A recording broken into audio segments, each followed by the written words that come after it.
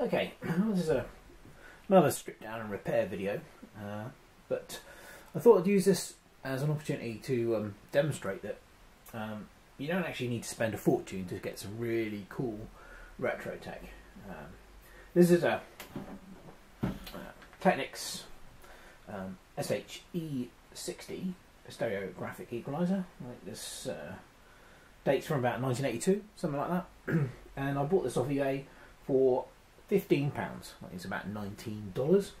Um, it was listed as completely dead, wouldn't power up, but uh, cosmetically it was in pretty good condition. There's a little bit of rubbing to the graphics on the front here, and there's a small scratch on the back of the lid there. But other than that, it's it's it's pretty clean. And I thought for that amount of money, it was probably uh, worth a shot. Maybe we can get it working. So um, these things are fairly simple. Um, basically you've just got uh, line in, line out, a couple of jacks for a remote control, uh, and an AC out socket. Um,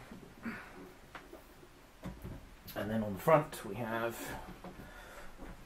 as you can see, I think, uh, graphic sliders and um, a equalizer on-off button and a power standby button.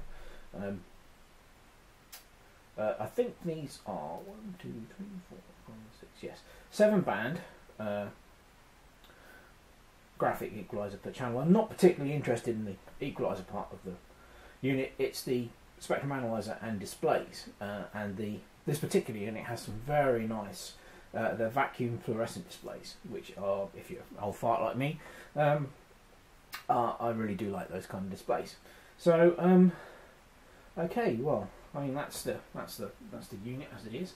Um, and the first thing I'm going to do is basics. Take this apart and see whether or not uh, it's wired up correctly. Is there a fuse in it? If there is, um, is the fuse okay? Uh, if it's not, place it before we even go to uh, have a look inside. Well, mains plug's fine, fuse is alright, so now it's time to have a quick look inside. So let's just take the lid off.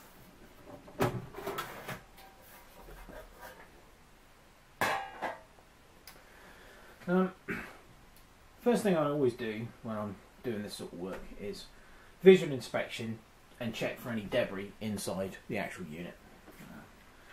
Uh, so you can see that it's fairly straightforward. One main PCB, uh, and uh, there's a PCB on the front which has got the displays on. Um, so uh, we're going to have a quick look, see whether or not there's any damage that I can see that's obvious. This is naked eye type stuff. Um, burnt resistors, bulging capacitors, that sort of thing. Um, and then we'll uh, put power on and check that the mains is actually getting up to the transformer on the board here. Okay, uh, mains is getting to the transformer, um, and we've got AC voltages coming off, so that's that's all looking good. I've unplugged it. There's no power on it at all now, and now I'm going to use a very uh, high-tech piece of diagnostic equipment. Yep, the finger. Most of us have these, and they're really really useful. And what I'm going to do is um, very gently uh, touch and see if I can move uh, the components which are protruding from the board particularly these two power transistors here and here, you can see that, and this, which I think is a voltage regulator here. Um, and I've actually already fixed this, so uh, I know that these are going to be fine. But when I did this the first time, um, one of these power transistors was fine, the other one was loose in the board, and I could literally wiggle it backwards and forwards, so obviously wasn't soldered in properly. And the same was uh, the same uh, effect was found with this voltage regulator. It was just completely loose in the board. It was flopping around all over the place. So uh, those uh, two things need to be made note of. And when we flip the circuit board over, that's the very first thing that we'll be having a look at. But that's obviously a problem. Um, and the next thing I'm going to do is use another high-tech bit of um, diagnostic equipment, and we'll zoom out from the board so you can see that.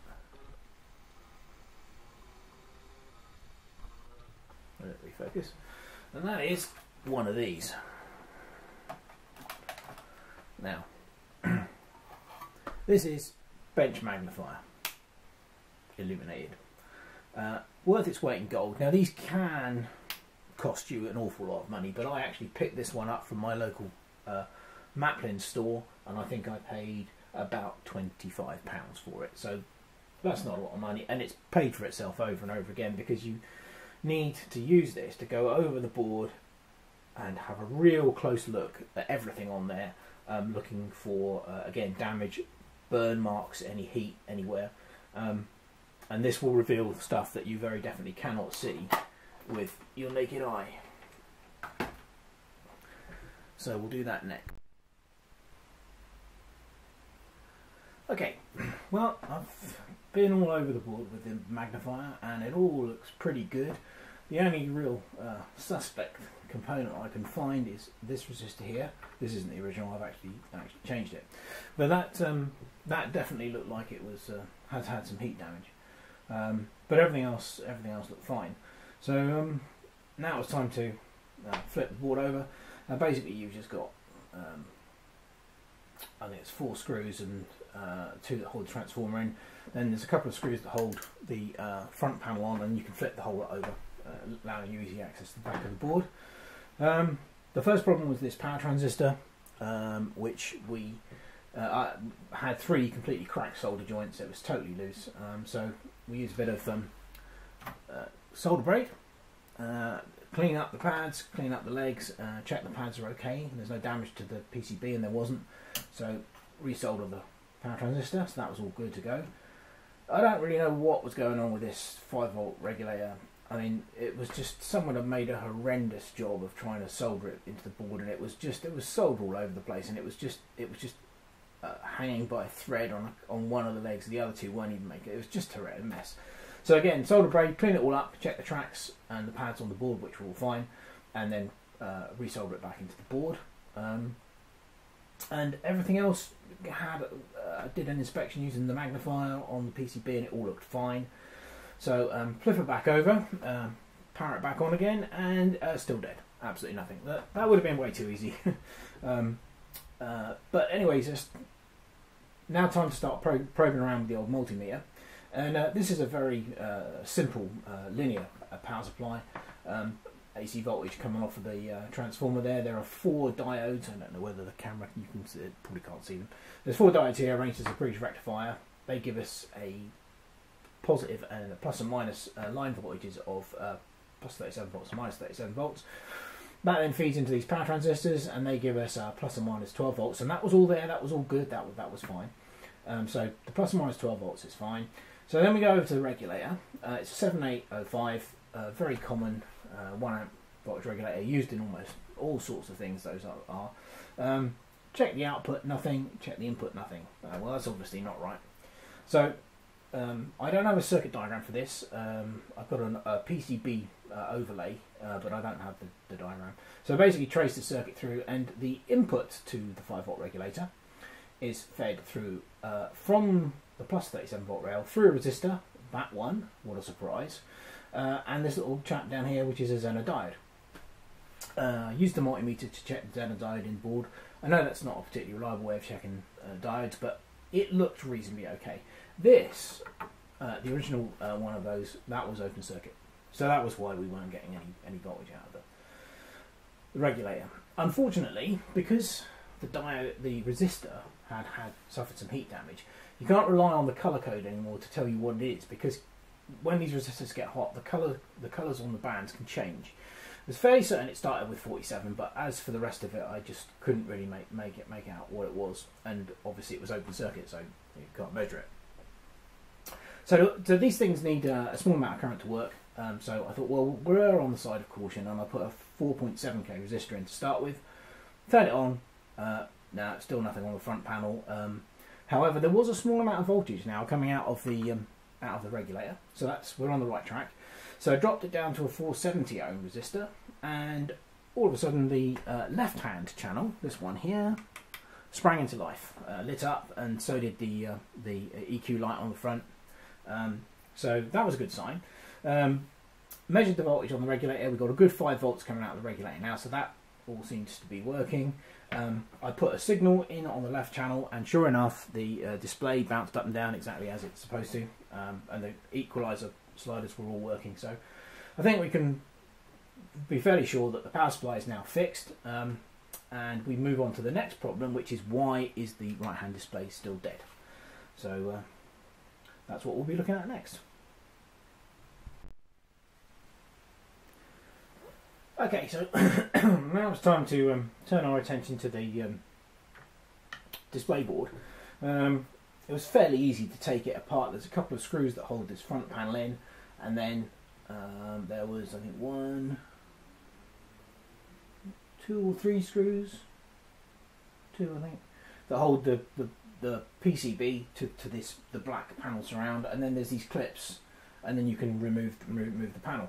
So I basically did the same thing again. Looked, uh, give it a good going over with the magnifier, looking for um, any obvious damage. There was no heat damage that I could tell.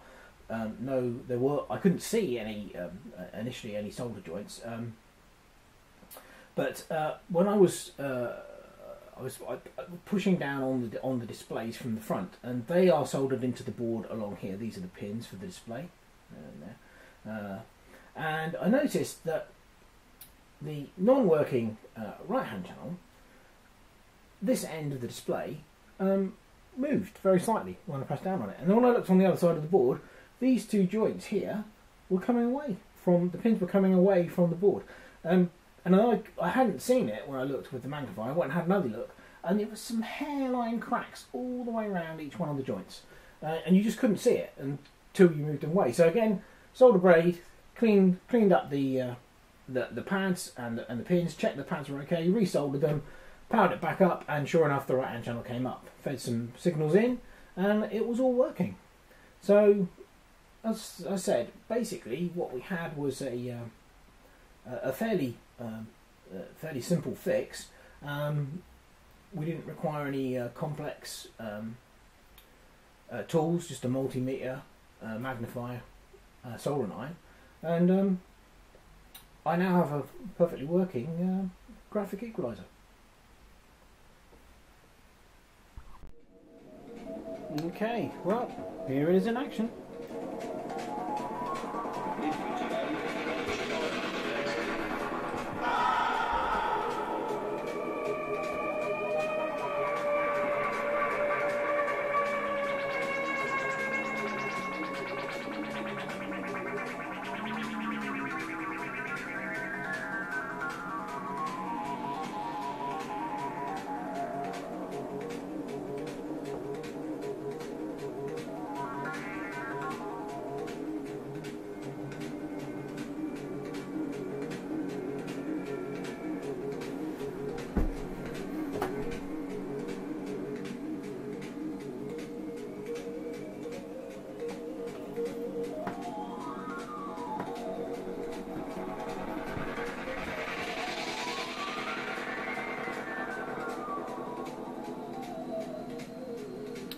You just gotta love those vacuum fluorescent displays, they are simply gorgeous.